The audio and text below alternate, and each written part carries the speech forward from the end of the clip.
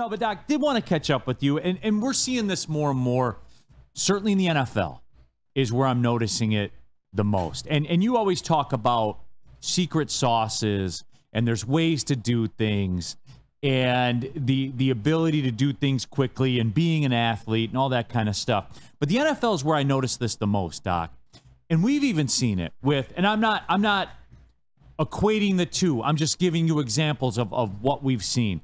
We've seen it, defensive linemen in an offseason will drop 40, 50 pounds of weight.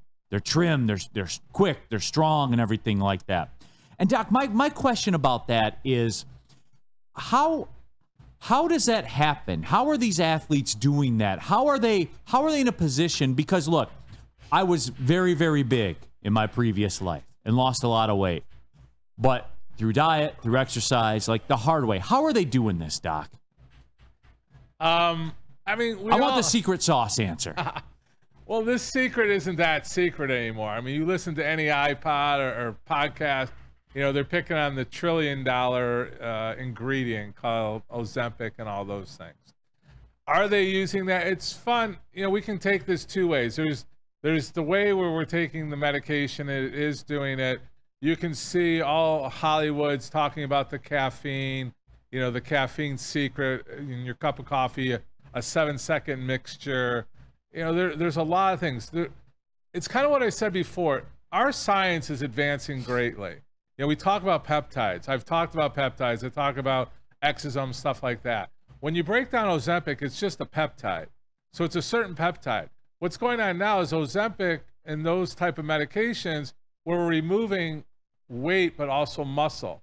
The muscle was losing. Now you're getting designer things where you're maintaining the muscle, or you have to take this supplement to maintain muscle.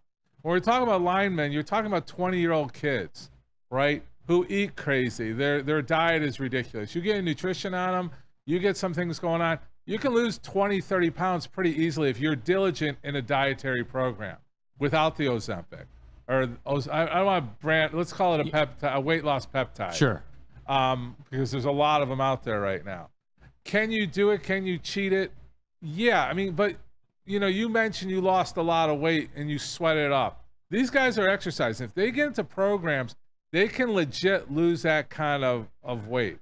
So when you say they're coming in bigger, faster, and stronger, they're going into a program where weight loss is part of it, but also a healthy living's part of it and then strengthening's a part of it. Like we're talking about doing retreats, you know, from through my company, you know, out in other countries, so we can do certain biologics that we can't do here.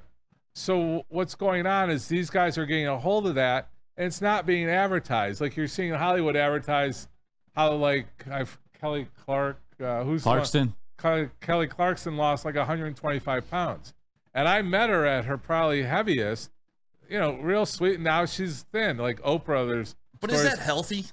I mean, what does that do to the body? Have they done those long-term results or tests on it to where they know, like, hey, if you're 20 years old and you're dropping this weight this fast, or if you're Kelly Clarkson and you're dropping 120 in a month, like, well, that do it wasn't a month. Heart? It was probably over six to, to nine months. Okay, that's long. 20 pounds a month, though. I mean, yeah, doesn't that do something to your heart, your blood, the way your body functions? Because bodies like they get to places over time, right? Not just with the snap of a finger. Well, that's like so. That's a little old school thinking, right? the biggest school. thing is the roller coaster. That's okay. what damages the body the most.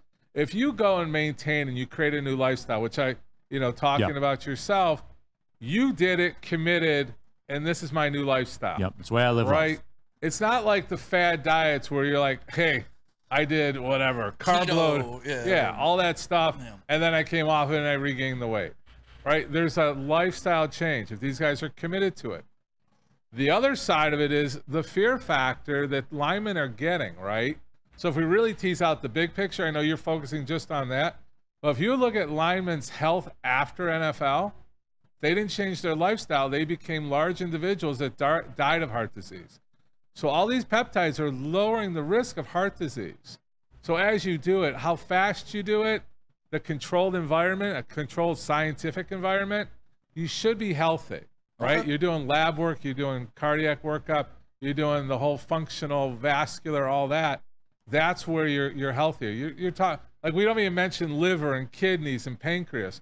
Pancreas is a big, a big problem with the Ozempic, the peptide things, which is coming as a side effect. Like you said, do we have enough research? Research is coming out. We're improving it. There's more, let's say, designer peptides that are focusing in really on what the weight loss should be. So to answer your question, those 40 pounds that these guys are coming, do they have a little special sauce? Probably. Are they just pushing the Ozempic? No, because then they wouldn't be faster and stronger, right? You have to do the full program. So I'm fully for a better functional lifestyle. Now you're talking about their play. Some of these linemen, like Michigan is or Wisconsin and Iowa, are king of what 300 plus pound guys. They're harder to move, right? So when you're lean and mean, you're playing a different game. So sometimes that extra weight does benefit. So you got to talk to what the coaches if you're going to make up for it, where are you going to get the power to push over a 300 pound guy on the other side? Yeah, it'd be interesting to track these guys, the guys that dropped the 40 pounds in the offseason and see And- what and, their like- productivity has turned into But this year. and and the reason I bring that up is because we've seen it here with with Alim McNeill took a step forward last year. No no doubt about it. He he shed he shed a lot of weight the previous offseason and came back in and looked good. We saw the the clips of Brodric Martin. So so we will be able to you know as Lions fans we will certainly be able to take a look at that and, and kind of pinpoint it. And I was and I was just more curious about the the how the how that they how they do it. Right. You and know? couldn't they do this just through healthy living or is, you know, better living Now- through now that- chemistry part of it? Now, now, Doc, I will say this: they don't have the benefit of time like that. I will- I will give them that. Like, yes, for me, like I started, it was it was 2015ish, just turning into 2016, where I just kind of overnight said, "This is how we're doing life from now on. Deal with it," and we did it, and everything went well, and everything's cool, and and we made a lifestyle change. Doc, when you're in a career where you got a four year shelf life on average, Right. you you don't have time to say, "All right, well, I'm just going to change my lifestyle now, and over the next couple of years, everything will get better." Yeah, but the other thing you're forgetting, they have a whole team behind them. Right. Like I've said so many times, they have access to so much more than what we have access to. If they follow it and get rigid, like we're very good friends with the nutritionist for the Red Wings. She's the smartest person I know nutritionally, and I've gone all the way to the Olympic Center with that. You get somebody like that, like this is your portions, this is what you're doing, this is your exercise. You get regimen. You know, we talked about the Brady factor before. You know, you live that life in and out. You live and breathe it. It you see results overnight. Like water weight is 20 pounds on a 300 pound guy, right? So that's that can be two weeks losing 20 pounds of, of water weight. So now you add a scientific to it and some secret sauce things. You're 40 pounds. You're talking about 40 pounds on a 300 pound guy. You think it's a lot. I love when Doc says secret sauce, yeah. man. It's it's it's 12 you know 12 percent of his body weight. That's not a whole lot. Uh, talking with our injury insider here, Dr. Jeff Pierce, the Michigan Sports and Spine Center. Freddie Felt 313. Dr. Pierce is cooking today. Once you're off the Ozempic, your muscle mass is effed if you aren't actively exercising. And to be fair, like I didn't, I know it came out that way, but I wasn't, you know, saying they're all using Ozempic. I'm not, I'm not saying that. I was But just more are. curious about the philosophy. Well, they are. I- You're not saying it. I, I- there you go. I'll say it for you, Neal. There are. It's a I mean, certain peptide that helps with weight loss.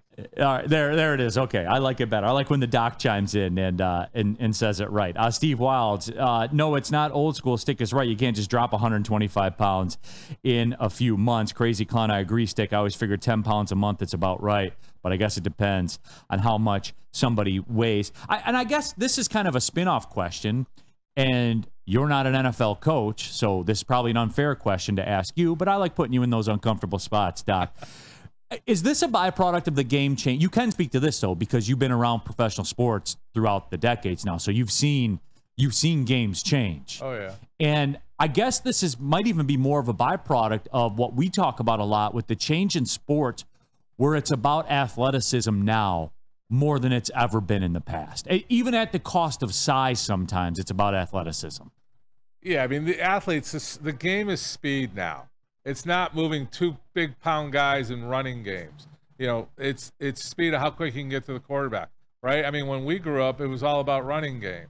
Now it's all about you know the the, the passes, the quick outs.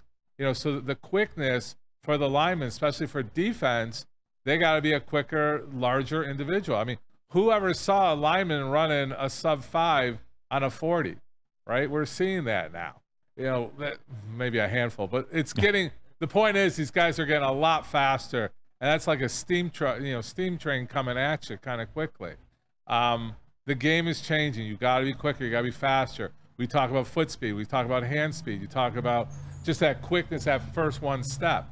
We didn't, you know, we, you know, back in the old Big Ten games, it was all about how big are your linemen and how fast, you know, you, Can you fall forward? Yeah. Yeah, I'm moving five feet or five yards one way or the other with those guys. Now it's a full out.